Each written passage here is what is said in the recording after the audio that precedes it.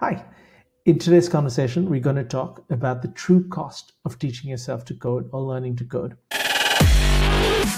Hello there! Welcome to my channel. Listen, after more than 12 years as a lawyer, I tried to start my own company. It was a startup, and I was a non technical founder.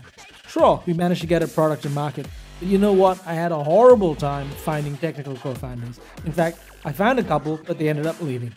I was so sick of it. At the age of 37, I finally taught myself to code. But man, it wasn't easy. A year or so later, I ended up joining a startup as an engineer. And a year after that, I joined Google as an engineer. So listen, if you want to transition your career into tech, or you want to become your own technical co founder, subscribe to my channel. So then this brings me to the next point, which is what is the true cost of saving money? So let's use an example. There's three, three scenarios that we can go to here. We can go to university or some sort of formal education that comes with a degree, or we can do a boot camp, or we can end up um, just teaching ourselves. So, you know, this is obviously the hardest path of them all, being truly self taught. And by self taught, what I mean is that you're not going through a formal degree program and you're not going through a bootcamp pro- program. If you spend money on courses for yourself, that's still self taught. So the fact that you're spending money is irrelevant. It's how you get taught. That's the important bit. So let's go with universities to start with. Okay, what do we know here? There's going to be a money cost. So let's say, you know, for argument's sake, university costs 50K, uh, right? Cost. And then your time, let's say it takes you know, let's just go easy and say time is two years, right? Two years.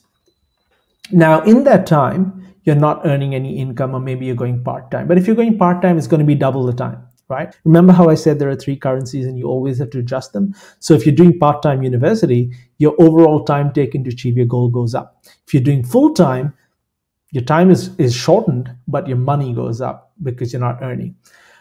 So generally, let's say when you're in university, you're not really going to be earning or you're going to be earning a minimum amount. So, you know, if you are doing full-time university and you give up your job, that's a lot of money here, right? And so you have lost income um, plus the cost. And cost means in money and time. Okay, so that's uh, with universities. Now let's consider the bootcamp angle, right? Well, bootcamp's not really very different because you see, um, your cost may be, let's say, 15K. Let's say, for argument's sake, the cost is 15K. And your time is, let's say, six months. Great. Now, if you're doing a full-time bootcamp, which most, you know, the most experiences, most successful outcomes are, then you've lost income from your job. You've had to give up your job for six months. Now, let's say your income is, you know, mm, I don't know, let's go with it an amount 3000 per month right? Let's say it's dollars 3000 per month. That's your income. So for here for two years that's you know 24 months times three. What is that? That's 72k over three years. And here it's six months times three so that's 18k of lost income right? Plus 15k of expense. So this one right here is 33k per boot camp in terms of your overall cost just in money, right? So this is just money. Overall cost is 33K. Lost income plus the amount you actually spend. Then you have a situation of how long it's going to take you to find work after you finish. So on average, you'll see most reports in boot camps and universities say, you know, 90% of people will get a job in six months. So let's say yours is the worst case scenario. You then add another six months of lost income, right? Now, this may be higher than 3K because now you're a developer. Maybe you get you know 5k per month. Um, and you, th- that's part of the reason you want to change is you want to get to 5k per month from 3k right? It's you're almost doubling your income there. Okay so now you have lost income at that future market rate because it took you six months to find a job. Now let's contrast all that with being a self-taught engineer so your cost could be you know let's say you spend zero well you spend a lot of time then and you may not even achieve your goals in which case you're frustrated you're jaded you're tired you're discouraged and you've lost confidence in yourself not a great situation but let's say you spend you know you, you're willing to spend let's just say you're willing to spend 10k Okay, that's quite a lot. That's a lot. Um, but let's say you're willing to spend 10k, and you know you're teaching yourself, so it's going to take you, let's say, two years. But you're working full time, and this is the important part. So you're, the reason it's going to take you two years is because you're only able to do three hours a day, or two hours a day, or 20 hours a week, right? Whatever it is, and so you you actually you've not lost any income because you continue to maintain your income.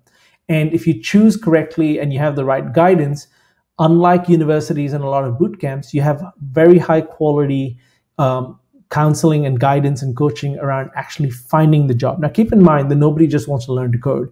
Everybody wants to learn to code either to build a startup or to find a job, right? The ultimate end game is you need to find a job. And because of this coaching guidance, you're still earning your income, but you know, you get the right guidance, you spend the money, and now you get a job, whatever. Let's say in three years' time your overall cost is still only 10,000. You haven't lost income because for those two years you're still earning. And so you haven't actually lost any income. And at the end of three years, you get your 5K a month job. Now you get your 5K a month job. How long does it take to repay that? Even if you assume you want to charge interest or whatever, because it was three years ago that you spent $10,000 and let's say you charge interest, right? You will recover 10,000 plus, let's say $1,000 in interest at 10%, which is crazy high. Um, but let's say that was it. You will recover $11,000 in a little over two months of working in your future role. In the meanwhile, you've got the guidance, you've not given up, you've made consistent efforts, and you've not lost income along the way. That was the model that actually ended up helping for me. Though I didn't have access to coaches in a formal sense, um, I did pay for help every now and then to get specific guidance for what I needed. And this goes back to my earlier point about thinking like an investor.